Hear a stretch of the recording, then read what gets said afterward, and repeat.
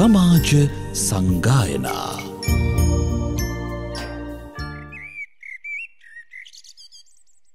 සමන්තා චක්කවාලේසු අත්‍රා ගච්ඡන්තු දේවතා.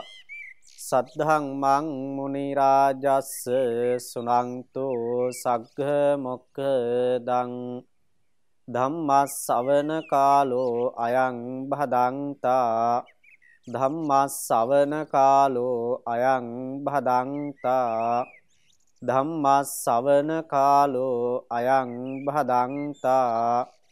නමෝ තස්ස භගවතෝ අරහතෝ. සම්මා සංබුද්දස්ස නමෝ තස්ස භගවතෝ අරහතෝ. සම්මා සංබුද්දස්ස නමෝ තස්ස භගවතෝ අරහතෝ සම්මා සංබුද්දස්ස පතිරූප දේශවාසෝච පුබ්බේච කත පුඤ්ඤතා අත්ත සංමා පනිදිච ඒතං මංගල මුත්ත මංති ශ්‍රද්ධාවන්ත සත්පුරුෂ පින්වත්නි අදත් හිමිදිරි උදෑසන පින්වත් ඔබ සියලු දෙනාම සූදානම් වන්නේ භාගතුන් වහන්සේගේ උතුම් බුද්ධ දේශනාවෙන් බිඳක් ශ්‍රවණය කරලා ඔබේ ජීවිතය ආධ්‍යාත්මික වශයෙන් සකස් කරගන්නටයි. අපි ඊ타ත්ම දුර්ලභ වශයෙන් ලබා ගන්නට යෙදුණු මේ මනුස්සාත්ම භාවයේ තුල මේ ජීවත් වෙන කෙටි කාල පරාසය අපි සියලු දෙනාම කැමති සුවෙන් සතුටින් සහනයෙන් ජීවත් වන්න. ඉපදුණු දවසේ ඉඳලා ඔබට යමක් කමක් තේරෙන දවසේ ඉඳලා ඔබ කල්පනා කරලා බලන්න ඔබේ ජීවිතයට සතුටක් ඉතුරුනාද කියලා.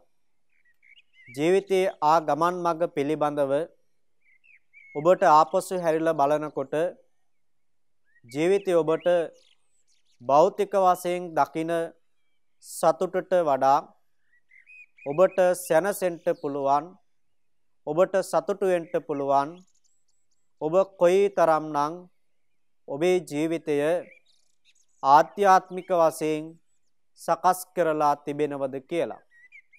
ඔබේ ජීවිතය කොයිතරම්නම් ආධ්‍යාත්මික වශයෙන් ධර්මයට අනුකූලව කොයිතරම් සකස් කරගෙන තිබෙනවද කියලා ඔබේ ජීවිතය පිළිබඳව ආපස්සට හැරිලා සතුටු වෙන්න පුළුවන් නම් ඔබ ලබාගත් මනුස්ස කියන භවයට සාධාරණයක් සිදු කරලා තිබෙනවා. මනුස්ස කියන උසස් මනසක් තිබෙන මේ කුලකය තුල ඔබට යහපත් ලෙස ජීවත් වෙන්න පුළුවන් ධර්මයේ ආශ්‍රය සද්ධර්ම ස්පර්ශය පින්වත් ඔබේ ජීවිතය තුල තිබෙනවා නම් ඒ ආකාරයට ලස්සන කරගන්න පුළුවන් ඒ ආකාරයට සකස් කරගන්න පුළුවන් ඔබේ ජීවිතයේ ආධ්‍යාත්මික පැතිකඩත් ඔබේ ජීවිතයේ භෞතික පැතිකඩත් කියන මේ අර්ථ දෙකම මනවින් හදාගන්න පුළුවන් ප්‍රායෝගික වශයෙන් ඔබට ජීවිතයට පුරුදු කරන්නට පුළුවන් වටිනා කියන ධර්මකාරණා 38ක් අන්තර්ගත සූත්‍ර දේශනාවක් තමයි මංගල සූත්‍රය කියලා කියන්නේ.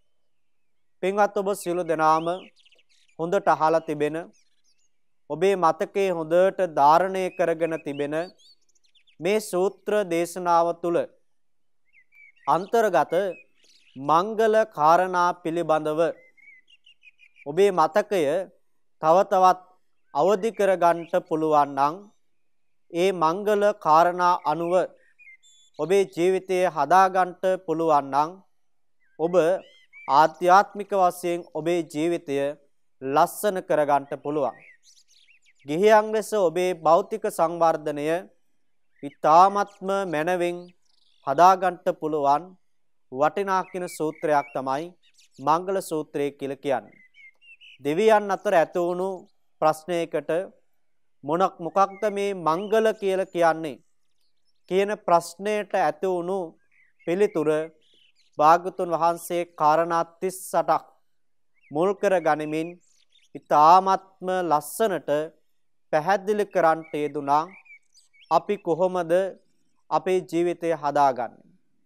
අපි කොහොමද අපේ පරම නිෂ්ඨාව නිවන කරා මේ ගමන් කරන මාර්ගය අපි හදාගන්නේ කොහොමද කියලා භාගතුන් වහන්සේ මේ සූත්‍ර දේශනාව තුළ ඊ타ත්ම ලස්සනට දේශනා කරන්නට යෙදුනා.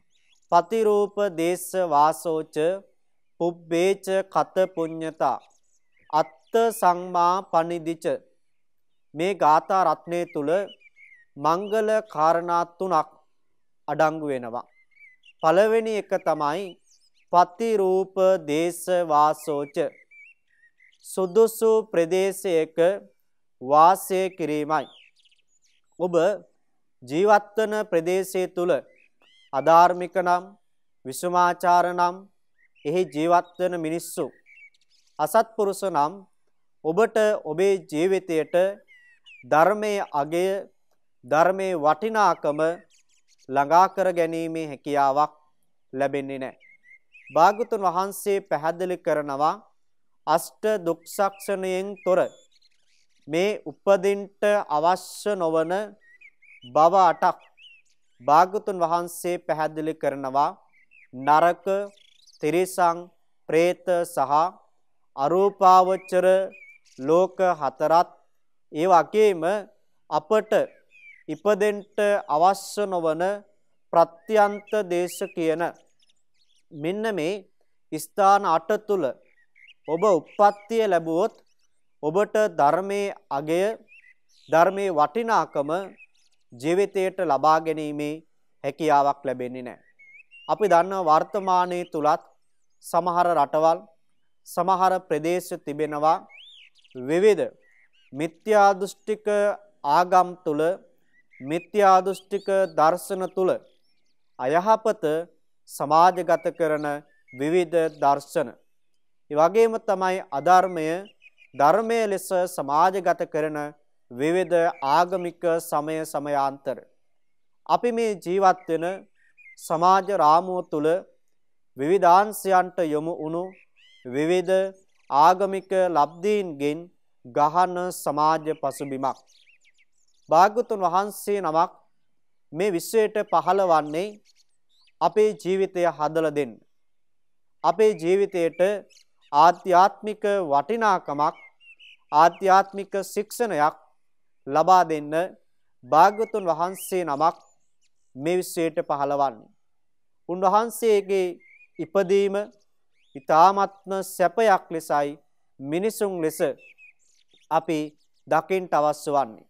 කිච්චෝ මනුස්ස පටිලාභෝ මේ දුර්ලභ වශයෙන් හරියට කැස්බෑවා වියසිදුරෙන් එළිය බලනවා වගේ තමයි අපි මේ මනුස්සාත්ම භාවයක් ලබා ගන්නව කියලා කියන්නේ. මේක බැරි වෙලාවත් නරක, තිරිසං, പ്രേත කියන මේ අපායවල් වල උප්පත්ති ලැබුවොත් අරූපාවචර ලෝක හතර තුල උප්පත්ති ලැබුවොත් ඒ වගේම තමයි සන සම්පත්තියක් නැතිව ඇස්පේන් නැතිව කන් ඇහෙන් නැතිව අංග විකලව කතා කරන්නට බැරිව උප්පත්තිය ලැබුවොත් වගේමයි ප්‍රාන්ත දේශයක නැත්තම් ප්‍රත්‍යන්ත දේශයක ඔබ උප්පත්තිය ලැබුවොත් ඔබ කල්පනා කරලා බලන්න ඔබ ලබන අවසාන මනුස්සාත්ම භාවය ඒක වෙන්න පුළුවන්. දුර්ලභ ඔබ වටිනා කියන මනුස්සාත්ම භාවයක් ශ්‍රාවක පින්වත් ඔබ සියලු දෙනාම ලබලා තිබෙන්නේ. මේ ජීවිතය හදාගන්න අපිට පුළුවන්. මේ ජීවිතය සකස් කරගන්නට අපිට පුළුවන්. ඒ හදාගන්නට සකස් කරගන්නට තිබෙන්නේ අපේ ජීවිතේ මනස, සිත, විඥානය කියන මේ පරයාය පදවලින් විග්‍රහ කරන එකම කොටසයි. මේක හදාගන්නට පුළුවන් නම් අපි ඉපදෙන්න අවශ්‍ය වෙනවා පතිරූප දේශ වාසෝච සුදුසු ප්‍රදේශයක් අපි තෝරා ගන්න අවශ්‍ය වෙනවා දැන් අපි දන්නවා භාගතුන් වහන්සේගේ එක බණපදයක්වත් අහල නැති අඩුම තරමේ ඉපදෙනකොටවත් බෞද්ධීන් නොවන යුරෝපයේ බොහෝ රටවල් වල ඒ පින්වත් පිරිස මේ භාග්‍යතුන් වහන්සේගේ සද්ධර්ම ස්පර්ශය තුල කොයි තරම්නම් ජීවිතය ආධ්‍යාත්මික වශයෙන් හදාගෙන තිබෙනවද වර්තමානයේ තුල ආසියාතික රටවල් වල ජීවත් වන අප තුල කොයිතරම් ධර්මය අපෙන් ඉවත් වෙලාද කියලා ඔබ සිතලා බලන්න අවශ්‍ය වෙනවා.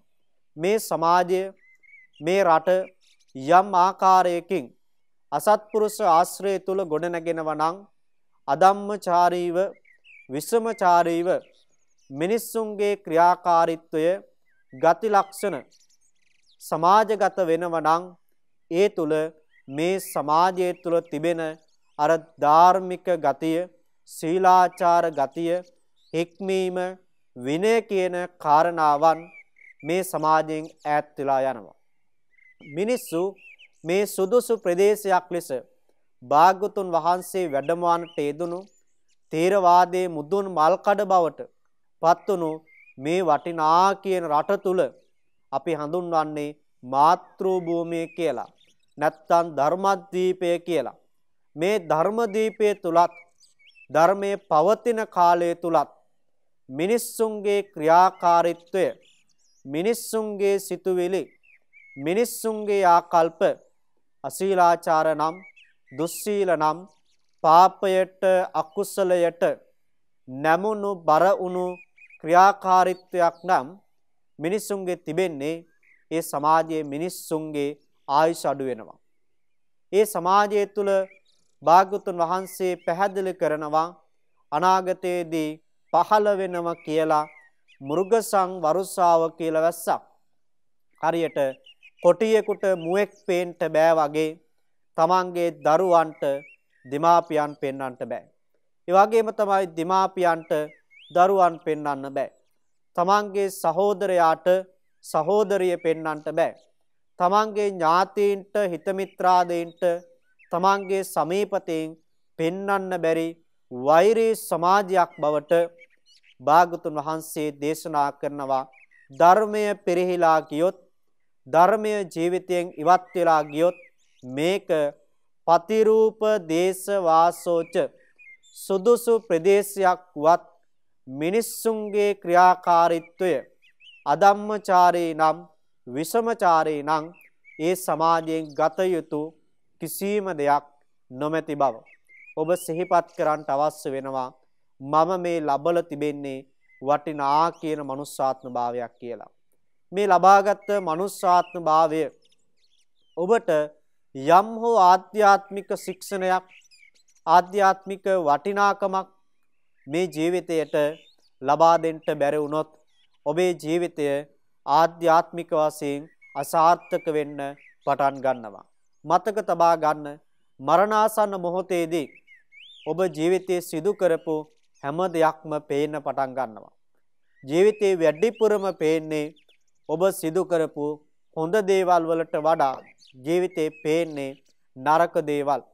බැරි වෙලාවත් අකුසල ක්‍රියාකාරීත්වයක් ඔබ ජීවිතයේ සිදු කරපු පාපතර ක්‍රියාවක් අවසන් සිතුවිලි ධාරාව ලෙස ඔබේ සිතට ගොඩ නැගුණොත් නිසක වශයෙන්ම ගිහිල්ලා සුදුසු ප්‍රදේශයක ඔබ උප්පත්ති ලැබුවත් නරක තිරිසං പ്രേත අසුර කියන සතර අපාගතව උප්පත්ති ලබන්නට සිද්ධ වෙනවා. ඒක නිසා ඔබ සිහිපත් කරන්න අවශ්‍ය වෙනවා. ඊ타ත්ම වටිනා කියන සුදුසු ප්‍රදේශයකයි ඔබ උප්පත්තිය ලබලා තිබෙන්නේ. ඒ ලබාගත් ජීවිතයේ තුල බුද්ධෝත්පාද කාලයක ධර්මයේ පවතින යුගයක මේ මනුස්සාත්ම භාවයක් ලබාගෙන ඔබට මේකට ආධ්‍යාත්මික වටිනාකමක් ආධ්‍යාත්මික ශික්ෂණයක් ආධ්‍යාත්මික අගයක් ලබා දෙන්නට හැකියාවක් ලැබුණ නැති වුණොත් ඔබේ ජීවිතය ආධ්‍යාත්මික වශයෙන් අසාර්ථක වෙනවා ඔබේ ජීවිතය භෞතික වශයෙන් අසාර්ථක ජීවිතයක් බවට පත් වෙනවා. ඔබ නිරන්තරයෙන්ම සිහිපත් කරන්න අවශ්‍ය වෙනවා මම ලබාගත් ජීවිතයට වටිනාකමක් ලබා දෙන්න අවශ්‍ය වෙනවා. භාග්‍යතුන් වහන්සේගේ ධර්මය ඔබට පරිශීලනය කරන්න පුළුවන් නිතරම බණ ඇහෙන නිතරම බණ අහන රටකයි පින්වත්නි ඔබ සියලු දෙනාම ජීවත් වන්නේ. ඒක නිසා ඔබෙන් යම් හෝ සුළු හෝ වැරදක් සමාජයට සිදුවන්නට දෙන්න එපා. ඒ සිදුවන වරද තුල ඔබ අකුසල සංස්කාරමයි ගොඩනගා ගන්න. ඔබ අර සතර අපා ගත වෙන්න අවශ්‍ය කරන අකුසල සංස්කාර ධර්ම වශයෙන් ගොඩනගා ගැනීමක් සිදු කරන්නේ. ලබාගත් ජීවිතය තුළ ආධ්‍යාත්මික වශයෙන් ජීවත් වෙන්න පුළුවන් නම් ආධ්‍යාත්මික වශයෙන් හදාගන්න පුළුවන් නම් ওই ජීවිතය කොයි තරම්නම් ලස්සන වටිනා කියන ජීවිතයක් බවට ඔබට පත් කර ගන්නට පුළුවන්ද? ඒකයි භාග්‍යතුන් වහන්සේ දේශනා කළේ පතිරූප දේශ වාසෝච ඔබ සුදුසු ප්‍රදේශයක උප්පත්තිය ලබන්නට අවශ්‍ය වෙනවා ඔබේ ජීවිතයට සත් ධර්මයේ ස්පර්ශය ලබා ගන්නට. දෙවැනි කාරණාව පුබ්බේච කත පුඤ්ඤතා. පුඤ්ඤතා කියලා කියන්නේ පින්වලට. ජීවිතේ පින් කරලා තිබෙන්න අවශ්‍ය වෙනවා ඔබේ ජීවිතය සැපවත් කරගන්නට. ඔබේ ජීවිතය සුවපත් කරගන්නට අවශ්‍ය වෙන එකම කාරණාව ඔබ මේ භවය තුලදී සහ පෙර භවයන් තුලදී පින් කළා තිබෙන්න අවශ්‍ය වෙනවා. දැන් අපි අහලා තිබෙනවා සීවලී මහරහතන් වහන්සේ ප්‍රත්‍යලාභීන් අතර අග්‍රස්ථානයට පත් උනේ සීවලී මහරහතන් වහන්සේ. උන්වහන්සේ කාන්තාරයක වැඩම කළත් කවදාවත් උන්වහන්සේට දානය ලැබුණ නැතුව තිබුණේ නැහැ. භාග්‍යතුන් වහන්සේත් සමහර අවස්ථාවන් තුල මහරහතන් වහන්සේලා සමග වැඩම කරනකොට ආනන්ද හාමුදුරුවන්ගෙන් අහනවා සීවලී මහරහතන් වහන්සේ වැඩම කරනවද කියලා. උන්වහන්සේට පුදුමාකාර ලැබීමක් තිබුණේ. උන්වහන්සේ පෙර භවයන් තුල පුදුමාකාර විදියට දන් දීලා තිබුණා. ඒ නිසා උන්වහන්සේ ලබාගත් අවසාන ආත්ම භාවයේ උන්වහන්සේට පුදුමාකාර විදියට ලැබුණා. නමුත් අපි වර්තමානයේ තුලත් උන්වහන්සේගේ ඒ ඡායාරූපය ප්‍රතිමා වහන්සේ සෞභාග්‍යයේ සංකේතයක් විදියට අපේ ජීවිතවලට ආශිර්වාද ලබා ගන්නේ උන්වහන්සේ පෙර භවයන් තුල සිදු කරන්ට යෙදුණු දාන පාරමිතාවේ කුසල ශක්තියයි. ඊට ප්‍රතිවිරුද්ධව අපි අහලා තිබෙනවා ලෝසක මහරහතන් වහන්සේ. උන්වහන්සේ පින්වත්නි රහත්භාවයට පත්වෙන අවස්ථාවේවත් කුසපුරා ආහාරයක් ලබා ගැනීමට හැකියාවක් ලැබුණේ නැහැ. මේ තමයි පින්වල අවම తත්වයේ සහ පින්වල වැඩි ස්වභාවය. සීවලී මහරහතන් වහන්සේ සසරේ පින් කරපු නිසා උන්වහන්සේට ප්‍රත්‍ය ලාභීන් අතර අග්‍රස්ථානයට පත්වන්නට හැකියාවක් ලැබුණා. නමුත් ලෝසක මහරහතන් වහන්සේ සසරේ දන් දීලා තිබුණු නැති නිසා සසරේ සීලය ප්‍රගුණ කළ නැති නිසා උන්වහන්සේට කුසපුරා ආහාරයක් වළඳන්නට හැකියාවක් ලැබුණේ නැහැ. මේකයි පිනෙහි ස්වභාවය.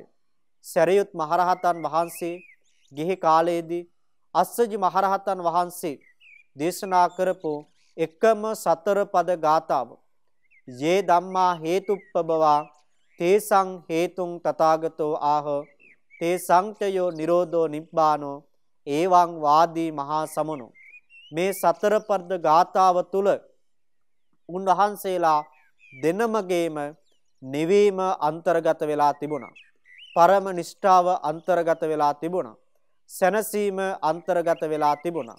ඒ තරමටම ධාරණ ශක්තියක් මතක ශක්තියක් ඇති උනේ පෙර භවයන් තුල සිදු කරන්ට යෙදුණු කුසල ශක්තියෙහි ප්‍රතිවිපාක විදියටයි.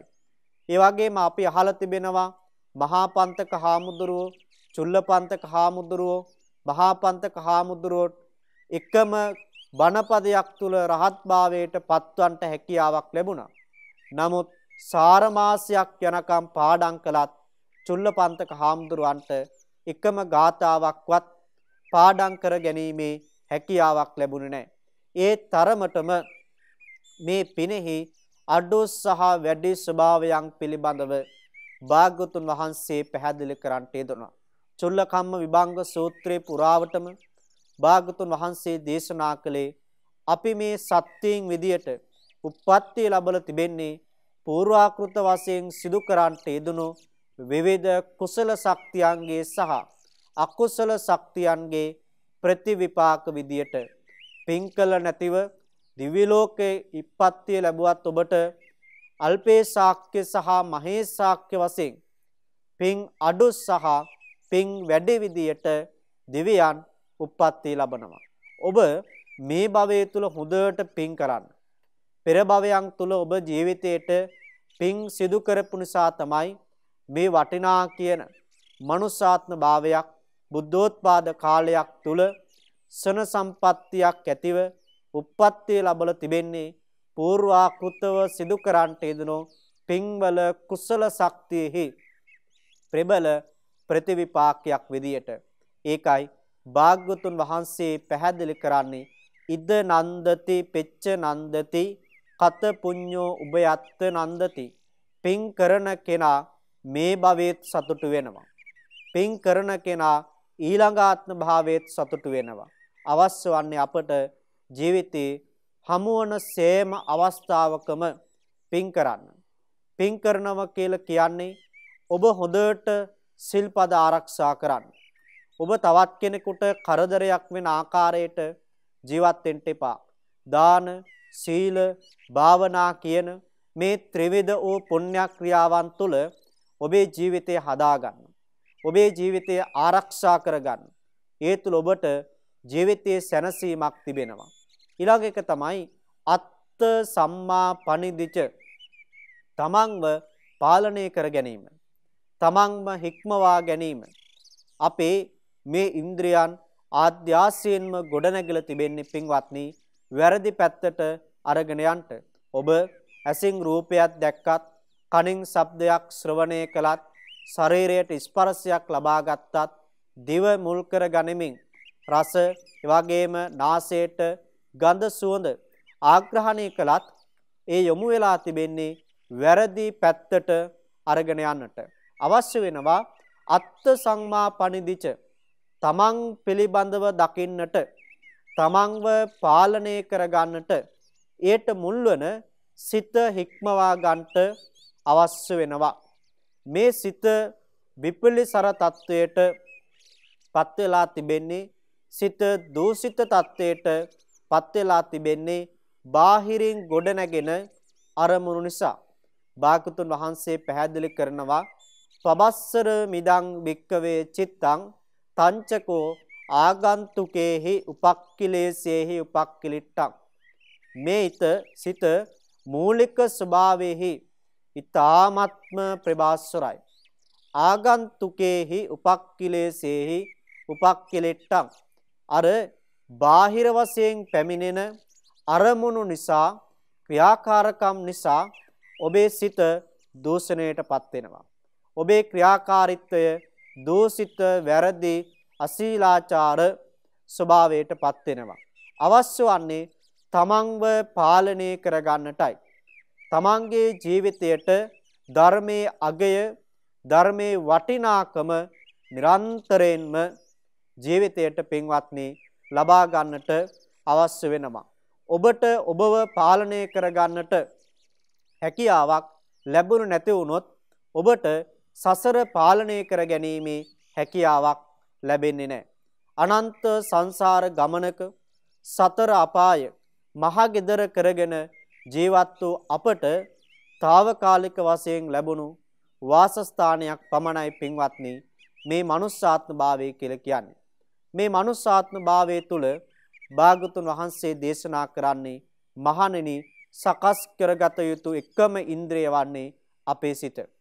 මේ සිත යහපත් ධර්ම තුල පිහිටවාගෙන කටයුතු කරන්නට පුළුවන් නම් ඔබේ ක්‍රියාකාරීත්වය කායිකව වාචසිකව මානසිකව ඊ타ත්ම ලස්සනයි. ඒකයි ඊ타ත්ම වටිනා කියන මංගල කාරණාවක් ලෙස භාගතුන් වහන්සේ දේශනා කරන්නට යෙදුනේ අපට අවශ්‍ය වන්නේ අපව පාලනය කරගන්නට අපව හික්මවා ගන්නට අපේ ජීවිතයට ධර්මයේ වටිනාකම ධර්මයේ අගය ජීවිතයට පින්වත්නි ලබා දෙන්නට අවශ්‍ය වෙනවා. එහෙම ලබා දෙනවා නම් ඔබේ ජීවිතය ශ්‍රද්ධානුසාරී ධම්මානුසාරී ශ්‍රද්ධා විමුක්ත සහ සෝවාන් තත්වයට ඔබට පත්වීමේ හැකියාවක් ලැබෙනවා ඒ මේ භවය නිමා කරන්නට අවශ්‍ය කරන මූලික ප්‍රවේශය පින්වත් ඔබ ජීවිතය තුළ සකස් කරගන්නවා. නිරන්තරයෙන්ම සිහිපත් කරන්නට අවශ්‍ය වෙනවා මේ ඉන්ද්‍රියන් තුලින් ගනු ලබන කිසිදු අරමුණකට අනිසි බලයක් අනිසි වටිනාකමක් ලබා දෙන්නට යන්ට එපා. ඒ තුල ආධ්‍යාසයෙන්ම ඔබව ගොඩනැගිලා තිබෙන්නේ වැරදි අරමුණු තුල ඔබේ සිත පිහිටුවා ගන්නට සිත ආරක්ෂා කර ගන්නට අවශ්‍ය වෙනවා. සිත ආරක්ෂා කර ගන්නට බැරි වුණොත් පින්වත්නි ඔබේ අර කායික ක්‍රියාකාරීත්වය ඔබෙන් ගිලිහිලා යනවා. ඒ ඔබට ආරක්ෂා කර ගැනීමේ හැකියාවක් ලැබෙන්නේ නැහැ. ඔබේ වාචසික ක්‍රියාකාරීත්වය ඔබේ වචනය ඔබට පාලනය කර ගැනීමේ හැකියාවක් ලැබෙන්නේ නැහැ. ඒ තුල ඔබට නොදැනුවත්වම ඔබේ ශික්ෂිත ස්වභාවය ඔබේ විනය ඔබේ හික්මීම ඔබෙන් ගිලිහිලා යන්න පටන් ගන්නවා. නිරන්තරයෙන්ම කල්පනා කරන්න. අද දවස තුල මගේ ජීවිතය මම යහපත් ලෙසම ගත කරනවා. මගේ ජීවිතයට මම ලබා ගන්නේ සත්පුරුෂ ආශ්‍රය පමණමයි. කවදාවත් අධර්මයේ තුල මගේ ජීවිතේ මම හදාගන්නේ නැහැ. මම ධර්මයේ තුලම මගේ ජීවිතය හදා ගන්නවා. ඒ තුල ඔබට ලස්සනට ඔබේ ජීවිතය පිළිබඳව දකින්න පුළුවන්. ඒ දකින්න ජීවිතය ඔබට ලස්සනට ගත කරන්න පුළුවන්. ඔබ හිතන්න කොයි තරම්නම් වටිනාකමක් මේ ජීවිතයට ලබා දෙන්න පුළුවන්ද කියලා. මේ සිත කොයි තරම්නම් ලස්සනට ඔබට පවත්වා ගන්නට පුළුවන්ද කියලා. මේ හිත අසමාහිත සිතක් වුවොත් මේ හිත අවභාවිත සිතක් බවට පත් වුනොත් ඔබේ ආධ්‍යාත්මික ජීවිතය අසාර්ථකයි. ඔබේ භෞතික ජීවිතය අසාර්ථකයි. අවශ්‍ය වන්නේ අසමාහිත සිත සමාහිත සිතක් බවට පත් කරගන්න. අවභාවිත සිත භාවිත සිතක් බවට පත් කරගන්න. එවිට ඔබට සචිත්ත පරියෝදපණං මේ සිත ඔබට ජයග්‍රහණය කරා අරගෙන යන්න පුළුවන් නිබ්බානං පරමං සුඛං පරම ඉලක්කය අරමුණ බවට පත්වන නිවන සාක්ෂාත් කර ගැනීම සඳහා. අද උදෑසනම මේ දේශනා කරන්නට යෙදුණු මංගල සූත්‍රයේ අන්තර්ගත පතිරූප දේශ වාසෝච සුදුසු ප්‍රදේශයක වාසය කිරීම පුබ්බේච කත පුඤ්ඤතා පෙර කරන ලද පින් ඇති බව කියන මේ කාරණා හොඳට මතක තියාගන්න ජීවිතයට ප්‍රායෝගික කරගන්න මේ ධර්ම කාරණා වලට අනුව ඔබේ ජීවිතය සකස් කර ගැනීම සඳහා හේතු වේවා වාසනාම් වේවා කියලා සාදු සාදු කියලා ප්‍රාර්ථනා කරමු. ආකාසට්ඨාච බුම්මට්ටා දේවානාගා මහිද්దికා පුඤ්ඤන්තං අනුමෝදිත්වා චිරන්ඩක්ඛං තුලෝක සාසනං. ආකාසට්ඨාච බුම්මට්ටා දේවානාගා මහිද්దికා පුඤ්ඤන්තං අනුමෝදිත්වා චිරන්ඩක්ඛං තුලෝක සාසනං. ආකා සට්ඨහාච බුම්මට්ටා දේවා නාග මහිද්దికා පුඤ්ඤන්තං අනුමෝදිත්වා චිරණ්ඩක්කං තුලෝක සාසනං. සිල් දෙනාටම තෙරුවන් සරණයි. සමාජ සංගායනා